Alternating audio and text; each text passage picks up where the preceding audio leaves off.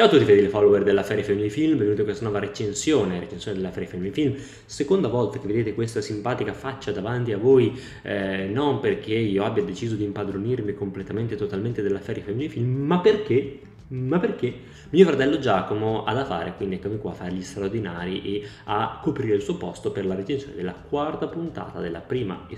forse unica stagione di Agatha All Along. Ora, come potete immaginare, mm, Giacomo ha fatto le sue recensioni, io non posso che dire che non ha capito niente. No, beh, scherzi a parte, scherzi a parte, diciamo che le cose stanno andando un po' come aveva, come aveva, detto lui, nel senso che abbiamo, adesso che siamo nella strada delle streghe, un susseguirsi di situazioni che, e di prove che sono tendenzialmente autoconclusive. Ecco, era così nella scorsa puntata, è così anche in questa puntata. Di conseguenza, senza spoiler, posso dire, ma non penso che farò grandi spoiler perché grandi spoiler in realtà non ce ne sono da fare in questa puntata. Comunque, se, se sto per dirne qualcuno, vi avvertirò. Ecco, dicevo, eh, nella scorsa puntata aveva anche la sua efficacia, c'era un po' il mistero, non sai bene cosa succede, cosa non succede, c'era un po' quel senso di, come dire, quelle, quelle vibes, per usare un termine un po' giovanile, di mistero suspense che si vanno a perdere in questa puntata, perché il modello è sempre lo stesso, entri nella casa, succede un imprevisto, devi risolvere l'imprevisto, eccetera, eccetera, quindi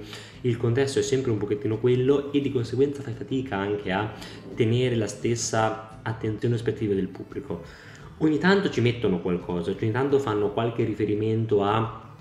Cose, a cose particolari, a misteri, il figlio di Agatha, l'identità del ragazzino, eh, Mefisto, stregonerie varie, ogni tanto fanno un po' questi riferimenti qua, ma sembra tutto quasi una lenta preparazione per qualcosa che non si sa se arriverà o meno sembra tutto una lenta preparazione per qualcosa che non si sa se poi avremo effettivamente modo di godere pienamente o se non sia invece tutta una preparazione per qualcosa che, che poi verrà esplorato nei film, perché alla fine di base a questo è un po' la questione, cioè sono poche sono poche le serie marveliane che effettivamente poi hanno avuto qualcosa di concreto da dire che non sono state semplicemente un lanciare personaggi che poi sono stati completamente e pienamente esplorati invece in ambito, in ambito cinematografico. Ecco, in generale dopo tre puntate tutto sommato godibili e convincenti, questa puntata qua resta sì abbastanza godibile, ma forse un po' troppo lunga, perché soprattutto la parte centrale nella casa sappiamo già grosso modo come andranno le cose, come si svilupperanno, manca un po' quella tensione, quel pathos che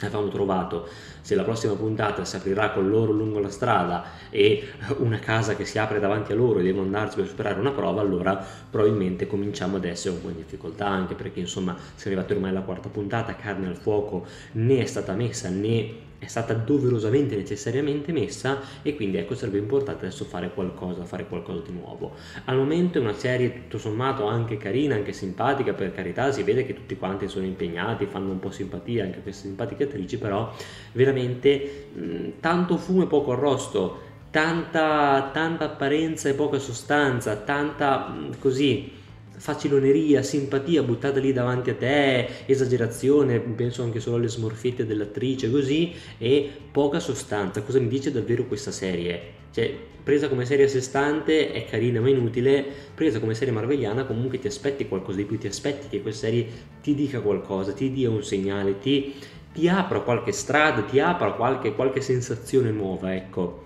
Questo finora non è stato, ecco, in un anno in cui di eh, Marvel noi abbiamo avuto veramente molto poco, abbiamo avuto veramente molto poco perché è giusto il nostro uh, Deadpool e Wolverine, che per carità è anche abbastanza scollegato dal Marvel Cinematic Universe vero e proprio, ha potuto dirci qualcosa con un successo chiaramente clamoroso, ecco però per quel che riguarda la trama fondamentale del mondo marveliano, questo poteva essere un modo per rimettere la palla al centro, ecco finora così non è, non è stato. Altre cose particolari da dire io non ne ho, nel senso che è una puntata molto interlocutoria, non me ne è rivelato praticamente nulla di sostanziale, carina ma forse un po' troppo lunga e tutto sommato nemmeno eccessivamente godibile. Staremo a vedere, staremo a vedere quali tipi di eh, innovazioni, novità, rivelazioni ci potranno essere nelle prossime puntate. Io vi ringrazio per averci seguito, fatemi sapere nei commenti cosa ne pensate, se sono io scemo che non ho colto qualcosa che invece era abbastanza evidente, eh, lasciate like se vi è piaciuto, ma se non vi è piaciuto ma lasciatecelo comunque, cosa vi costa?